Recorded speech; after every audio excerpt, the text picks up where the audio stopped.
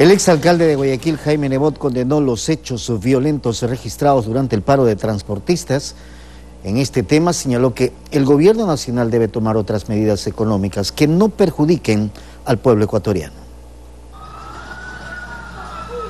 Y luego de los hechos violentos registrados durante las últimas horas por el paro de transportistas, surgen propuestas, por ejemplo, del exalcalde de Guayaquil, Jaime Nebot, de forma directa al gobierno nacional. Usted debería como gobierno,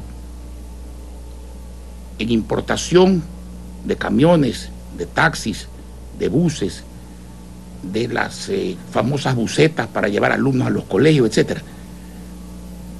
Suprimir los aranceles en los repuestos llegan hasta el 35%. Suprimir el IVA, suprimir el impuesto a la salida de capitales.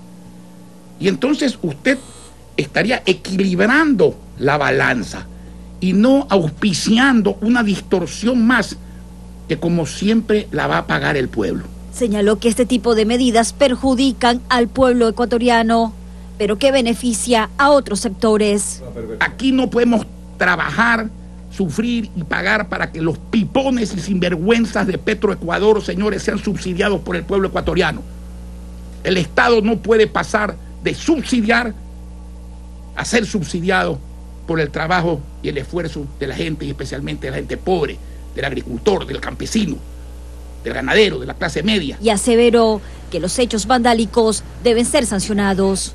De la protesta serena, firme, argumentada, pacífica. Al vandalismo hay un gran trecho. El vandalismo que es destruir los bienes de la gente pobre. No solamente no debe ser tolerado, debe ser reprimido. Gilena Perlaza, Telerama Noticias.